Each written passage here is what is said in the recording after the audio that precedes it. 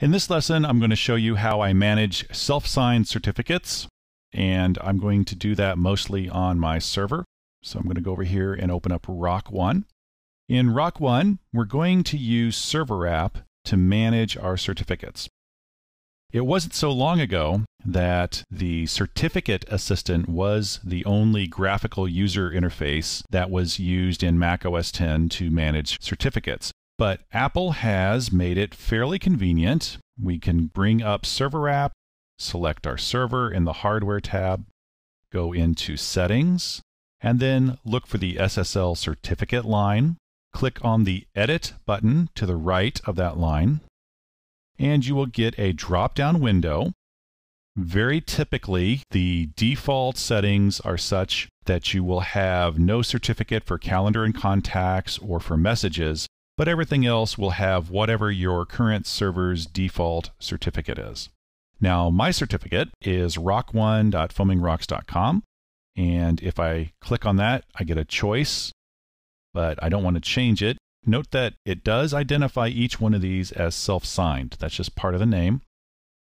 We can manage these certificates by going into the Action menu down here in the lower left and clicking on Manage Certificates. Now let's take a look at that rock1.foamingrocks.com certificate. This is very similar to what we've seen before in the Safari web browser. I can examine details. Again, there's very few details that are going to be useful here. So we really need to replace this self-signed certificate with one that will also be self-signed but have more details in it. The idea that we have here is the more information that we provide, the more trustworthy our certificate is going to be. So I'm going to click on the plus sign and say create a certificate identity. Now I'm going to want this to be an SSL certificate type. I also want to be able to override some of the defaults. So I'm going to check mark that and click on continue. It does give me an informational message telling me that I'm about to create a self signed certificate, and it does not provide the security guarantee of a certificate issued by a certificate authority. So we're going to go ahead and continue. Now, the two things that you need to note here on the certificate information screen in the assistant is a serial number and a validity period. What you're going to want to do is create unique serial numbers amongst your certificates, especially those that are signed by the same certificate authority, because this is how Mac OS X will sort and identify and manage those certificates. So you can come up with your own technique. You can use something like monotonically increasing value, like the number of seconds since a certain date, or something like that. I'm just going to put in 101 for my serial number right now. And you want to leave the validity period at 365. Most certificate authorities are not going to sign your certificate unless it's limited to one year. I'm going to click on continue. And then we need to fill in some more information. Now, this is pulling in information from when this server was still a Lion server. So I need to overtype that with a more meaningful email address. And I need to make sure my common name is correct, and it is. And then I need to put in a good organization name. So this is the Foaming Rocks organization. And I'll put in an organizational unit, the city, and a state. Continuing on, we now are asked to choose a key size and algorithm. The defaults here are just fine, so I'm going to click continue. And then we also need to tell what this SSL certificate will be used for. So we need to make sure that we include the key usage extension and that this extension is critical.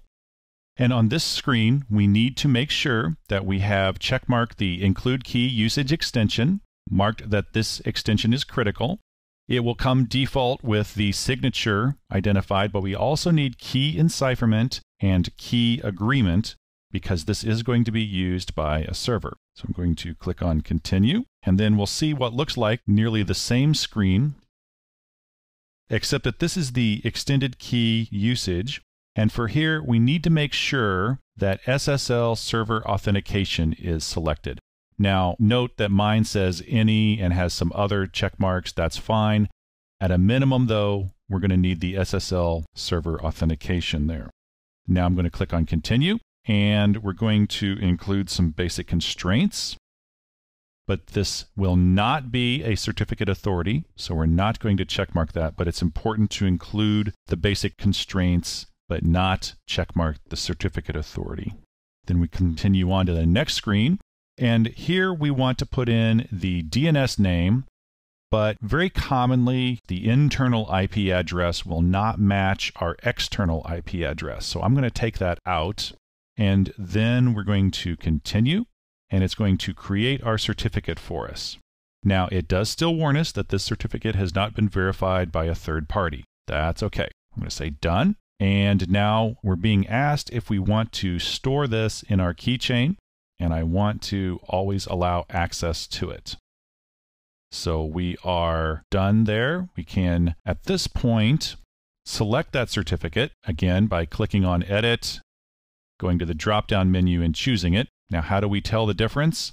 Well, if we select the certificate and we look at the information about that certificate by going back into Manage Certificates, we can see which certificate in the list is the one with the more detailed information. All right, so I'm going to cancel out of that actually. I don't need to choose that SSL certificate just yet. So that's how you can manage your self signed certificates and give them more detail. We will now need to create a certificate signing request and send that off to a certificate authority, and that'll be up in the next lesson.